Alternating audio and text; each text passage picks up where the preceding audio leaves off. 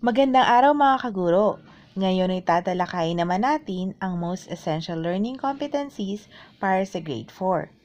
Pero, bago natin simulan, huwag kalimutang mag-subscribe at i-hit ang not- notification bell para lagi kayong updated sa ating mga videos. Halina at simulan natin sa Araling Panlipunan, pahina 26 hanggang 27. Para sa week 1, natatalakay ang konsepto ng bansa. Sa week 2 naman, natutukoy ang relatibong lokasyon ng Pilipinas batay sa mga nakapaligid dito gamit ang pangunahin at pangalawang direksyon. Para sa week 3, natutukoy ang mga hangganan at lawak ng teritoryo ng Pilipinas gamit ang mapa. Para sa week 4, nasusuri ang ugnayan ng lokasyon Pilipinas at heograpiya nito.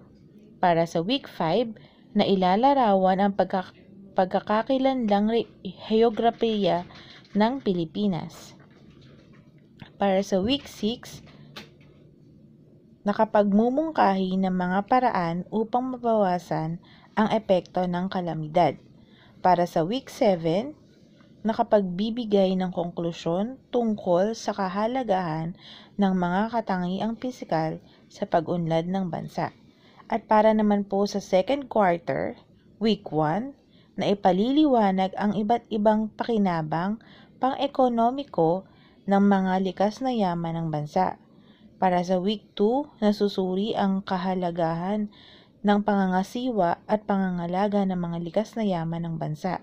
Para sa week 3, natatalakay ang mga hamon at pagtugon sa mga gawaing pangkab pangkabuhayan ng Pilipinas. Para sa week 4, nakalalahok sa mga gawaing nagsusulong ng likas kayang pag-unlad.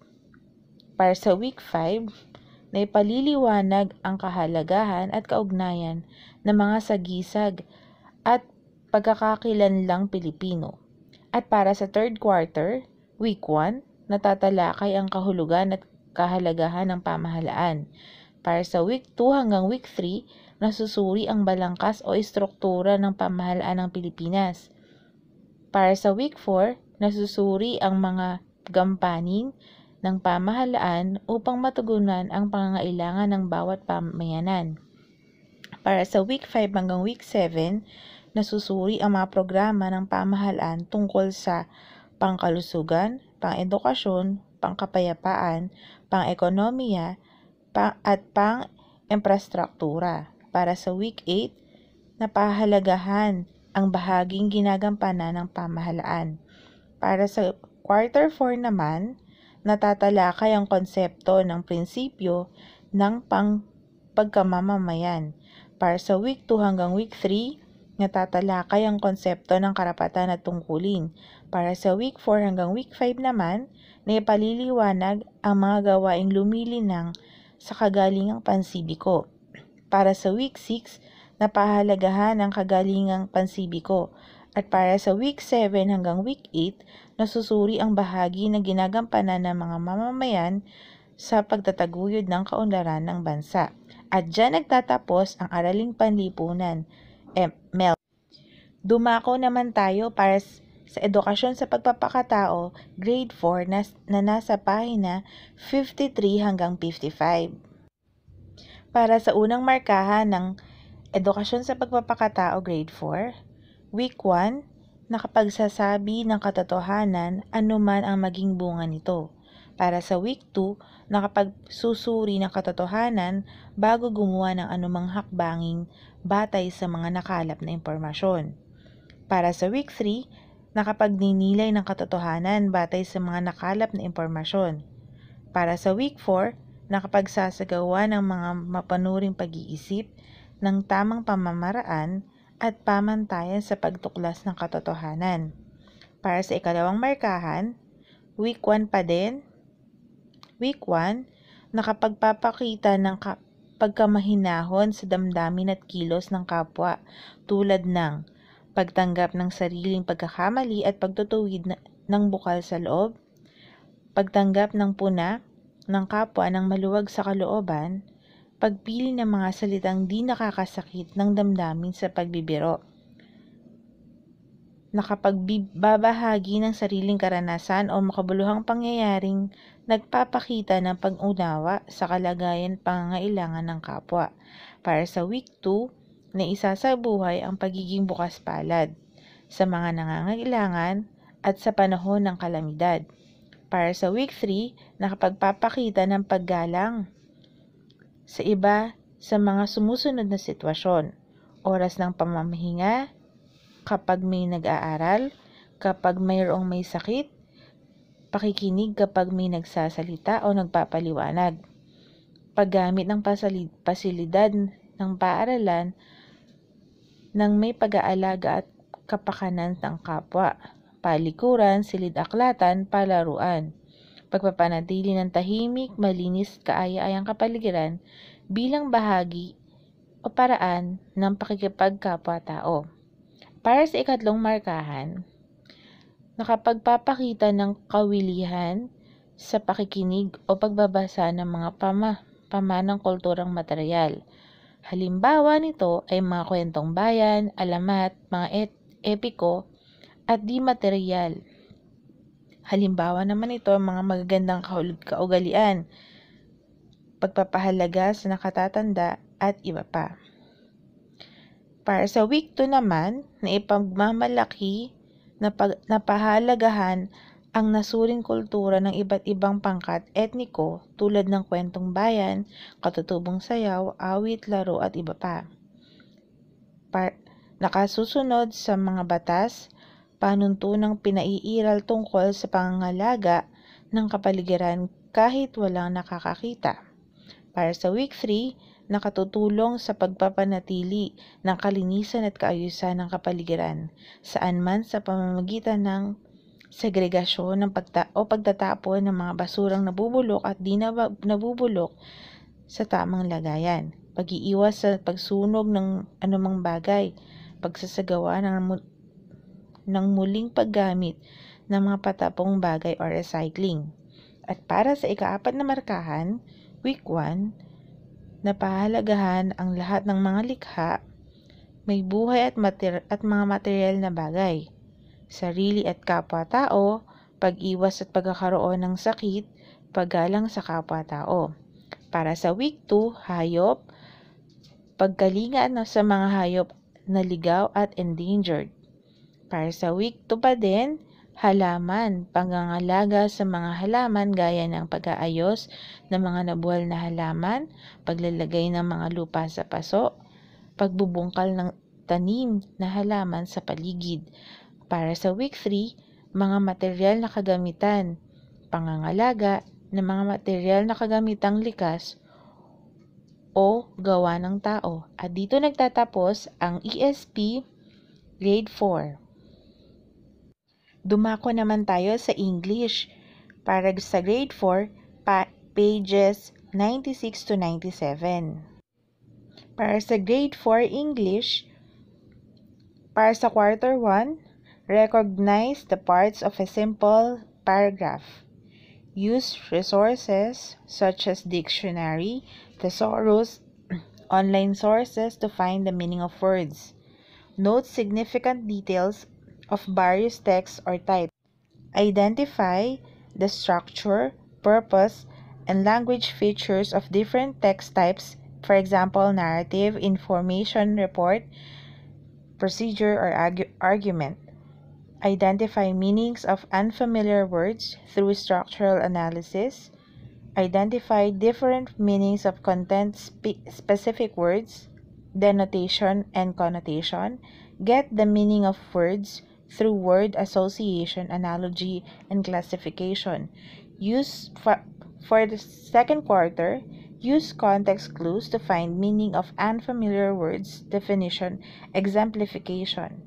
Use clear and coherent sentences employing appropriate grammatical structures, kinds of nouns, mass nouns, and count nouns, possessive nouns, collective nouns.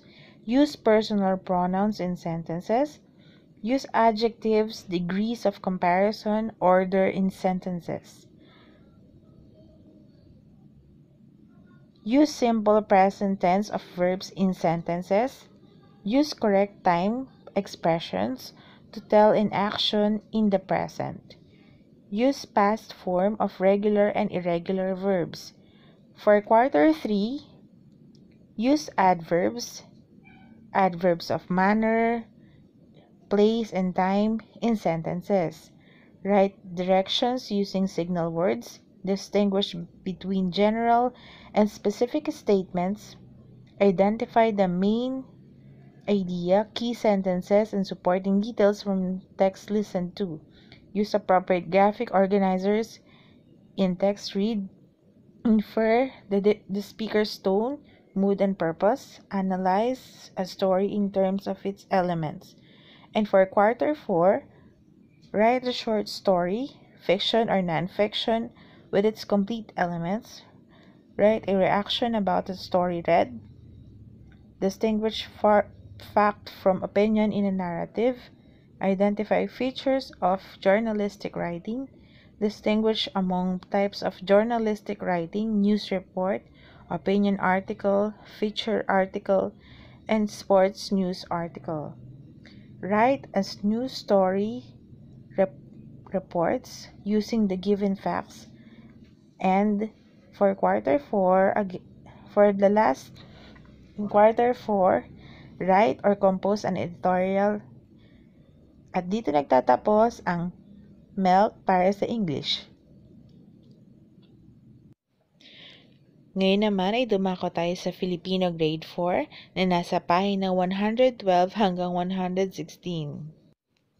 Para sa Filipino 4, ang most essential learning competencies, first quarter, una, nagagamit ng wasto ang mga pangalan, nabibig, nabibigyang kahulugan ang salita sa pamamagitan ng formal na definisyon, natutukoy ang mga elemento ng kwento, natutukoy ang bahagi ng binasang kwento, naka, nakasusulat ng talata tungkol sa sarili, na isasalaysay muli ang ng wasto ang pagkakasunod-sunod ng teksto, nasasagot ang mga tanong sa napakinggan at nabasang kwento, nakasusulat ng natatanging kwento tungkol sa natatanging tao, nababasa ang maikling tula ng may mabilis, tamang bilis, diin, ekspresyon at intonasyon, na ipahahayag ang sariling opinyon o reaksyon, nas nasusunod ang napakinggang panuto o hakbang ng isang gawain, na ibibigay ang kahalagahan ng media, nagagamit ang iba't ibang uri ng panghalip, nagagamit ang iba't iba't iba't ibang uring panghalip pananong, nagagamit ang iba't ibang uring pananghali panaklaw, nabibigay ang kahulugan ng salita, na ibibigay ang kahulugan ng salita ayon sa kas kasing kahulugan, kasalungat, nakasusulat ng liham, para sa ikalawang quarter, nasasagot ang mga tanong mula sa napakinggan nabasang alamat o laawit, na isusulat ng wasto ang baybay ng salita, nakapagbibigay ng hinuwas sa kalalabasan ng mga pangyayari.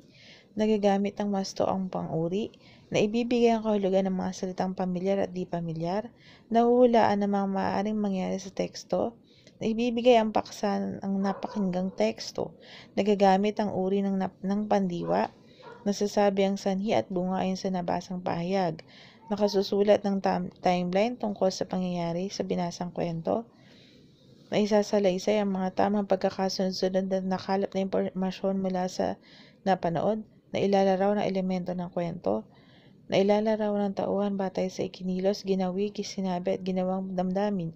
Nagagamit ang iba't ibang uri ng panghalip, pamatlig, patulad,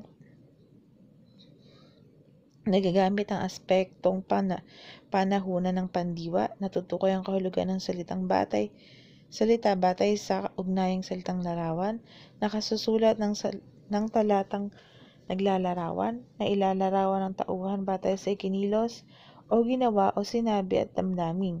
Nagagamit ang pa panggaano ng pandiwang pamatas, pautos, pasalaysay at napakinggang usapan.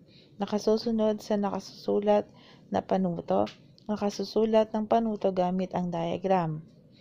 Nasasabi ang paksa ng napanood ng maigling pelikula na ibibigay ang sariling wakas sa mga napakinggang teksto.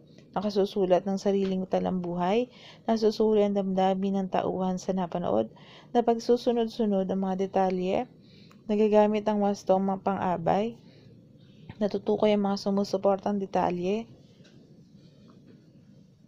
nagagamit ang ng wasto ang pang-abay at pandiwa sa pangungusap, nagagamit ang wasto ang pang-abay at pang pang-uri sa pangungusap. Para sa ikatlo quarter, nakapagbibigay na hakbang ng isang gawain, nakasusulat ng simpleng recipe at patalastas, nagagamit ang pang-abay sa paglalarawan ng kilos na, na ilalarawan ng tauhan batay sa ikinilos, nasasagot ang mga, ta- ang mga tanong sa nabasa, na isasalaysay ang mahalagang detalye sa napakinggang editorial, nasusuri ang mga kung opinyon o katotohanan ng isang pahayag, nagagamit ang pahayag sa pagpapahayag ang magagalang na salita, nakasusulat ng argumento at editorial, nakasusulat ng paliwanag, usapan, puna at tungkol sa isang issue, nakapagbibigay ng reaksyon,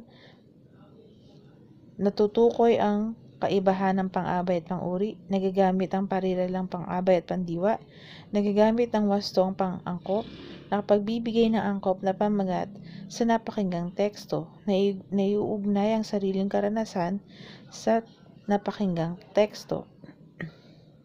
Nabibigyan ng angkop na pamagat ang talatang binasa na isasalaysay muli ang napang, napakinggang teksto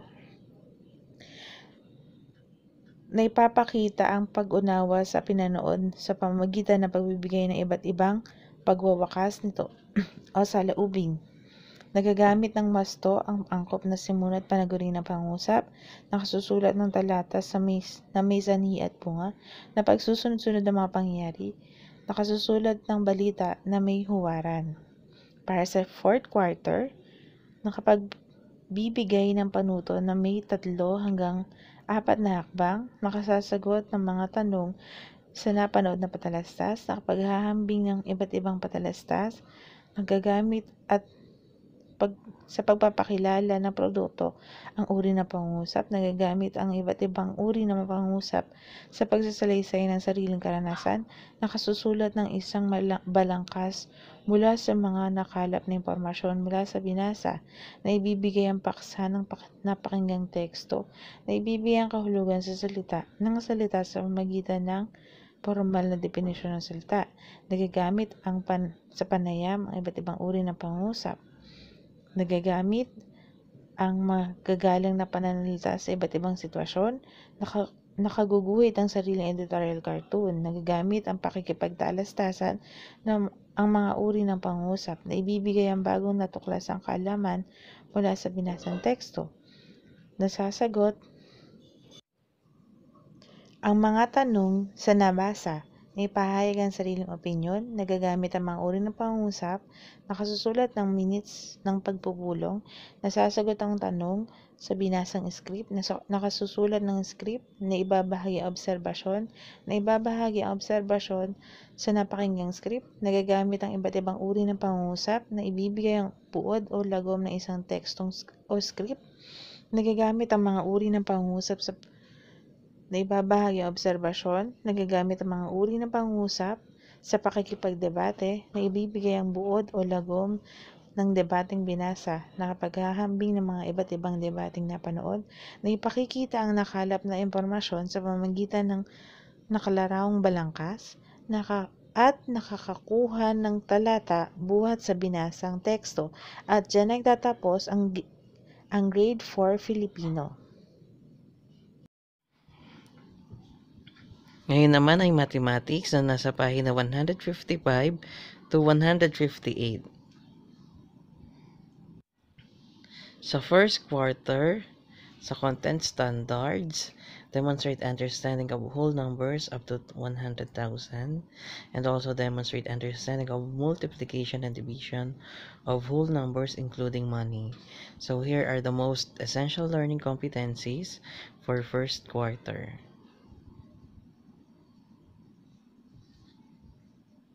So from week 1 to week 9. For quarter 2, Demonstrate understanding of factors, multiples, and addition and subtraction of fractions. Demonstrate understanding of improper fractions, mixed numbers, and decimals.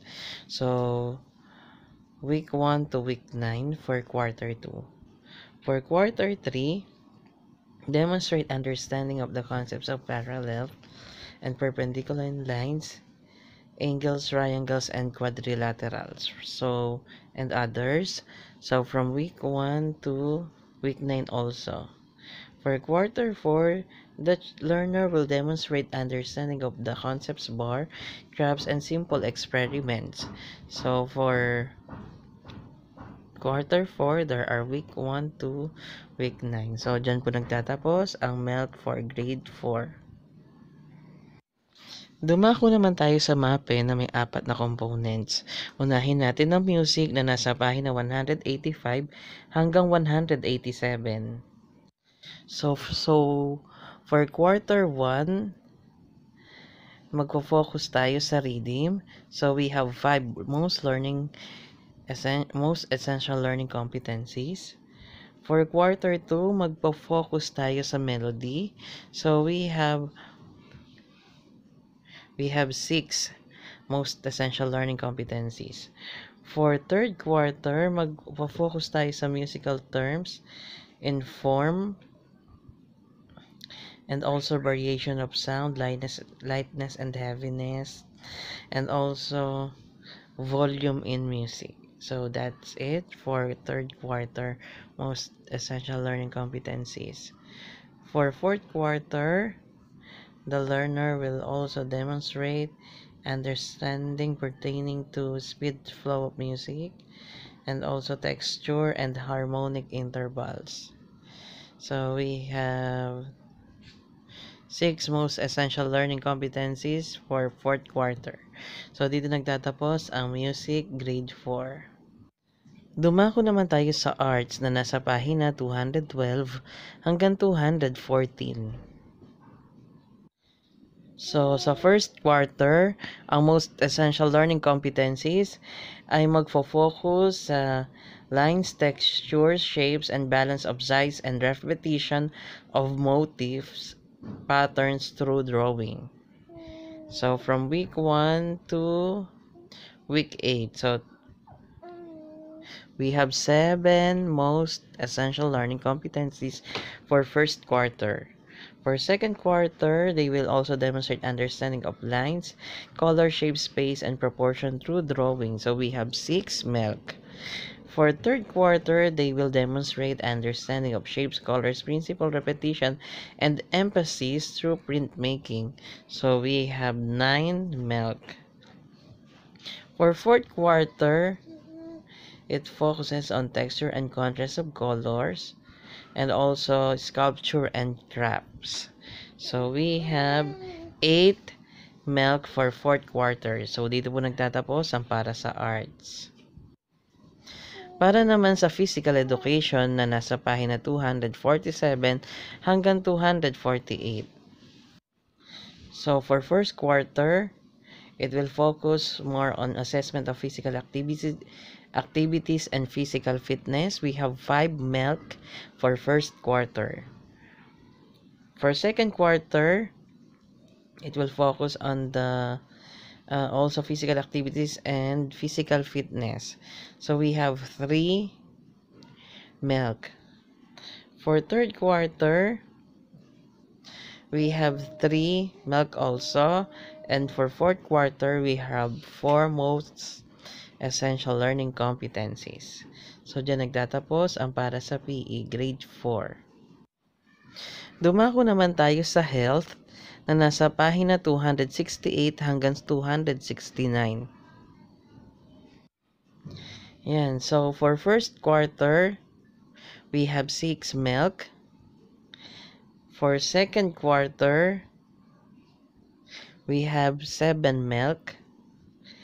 For third quarter, we have 5 for week 1 to week 8. And for fourth quarter, we have 6 for week 1 to week 8. So, dyan nagtatapos ang ating milk para sa grade 4. So, sa aking mga kapwa guro, huwag kalimutan mag-subscribe at i-hit ang notification bell para updated kayo lagi sa ating mga videos. Thank you very much. God bless everyone.